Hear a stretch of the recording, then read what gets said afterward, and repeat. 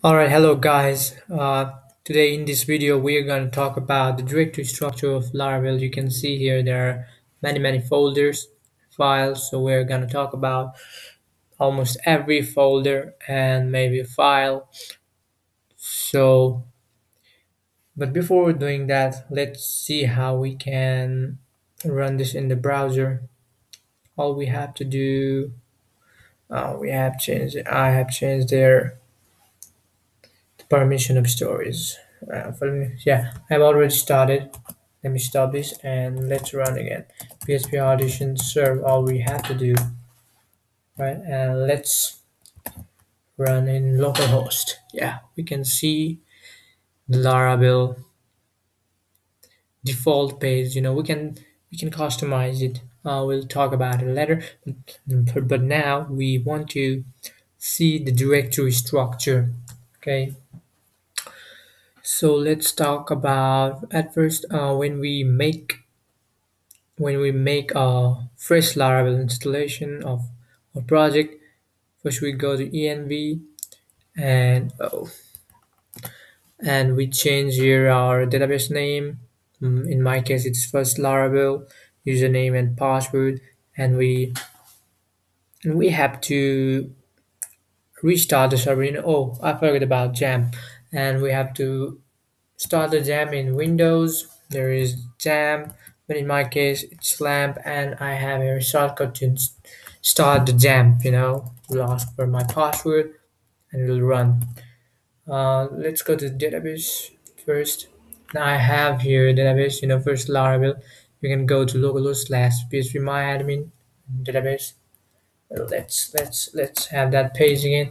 Now we want to talk about the basic folder so we have talked about env. that's all about env. uh, all we all new you know like uh, keys and many things we want to have here.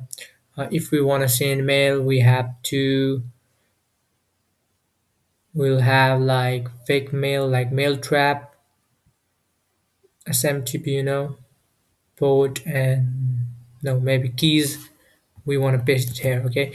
And after that, um, there is env example that is nothing same as env. If uh, that's that's you know when we make GitHub and push env has our secrets, you know, so we wanna we don't want to show to others so we can copy it from env example to env and in composition all we have is you know uh, what is there json file it is nothing much. Laravel framework versions and those things. And uh, let's go let's go. There's nothing much here. Um, now Now there is one main, main folder resources in which there is views folder in which we have welcome day. Uh, this is the basic page which this this is displaying okay so we want to change it like uh, let's remove all and let's say hello from code online. Let's save it and let's refresh. Yeah we are good. Okay so that's it uh, about view. We can create a many file here. Okay uh, uh, and in routes there is a web.php where we uh, we want to have like routes like if we say slash slash mm, code online. And we, are- we are returning welcome blade uh, which we saw here okay? So if we do refresh it may say not found yeah.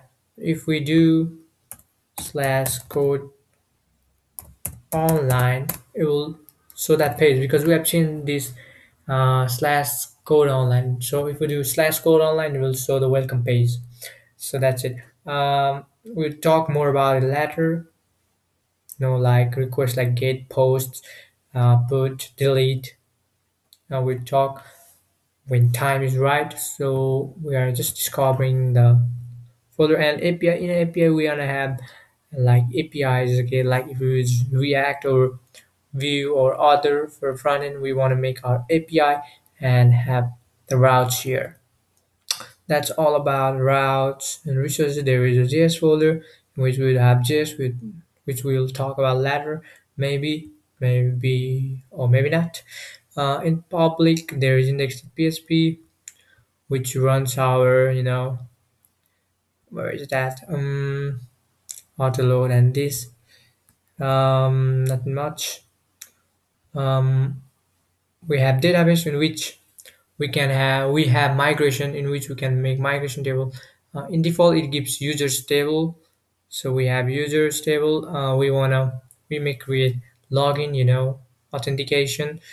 We can also have our own migration uh, from like php artisan make migration command which we'll see later in backend portion and sheets and factories that's all about you know backend database you know.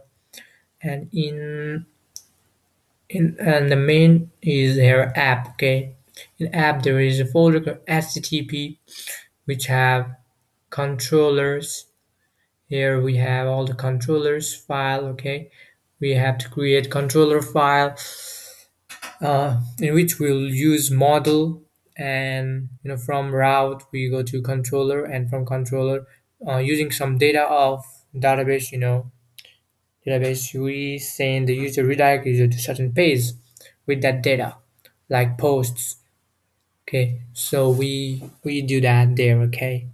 Like uh, creating validation of form etc deleting So all the function, all the backend logic is written in controller, and there is there user this is model.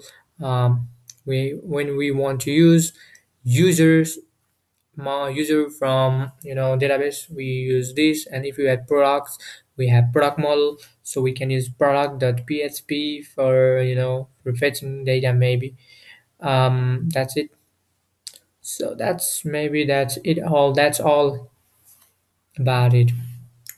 Uh, you'll understand more about it when we go with the flow, you know. So we'll talk about it definitely. So stick around, stick with it, and I'm gonna make you understand. If you don't understand, please comment. Uh, I'll be there for you. So hope you enjoy Code Online. Mm, this is Laravel series for basic, you know, beginner. Uh, so I think this is this is time to go. Um, so thank you. Hope you enjoy. Please like, subscribe, and comment if you like this video. Okay. So thank you.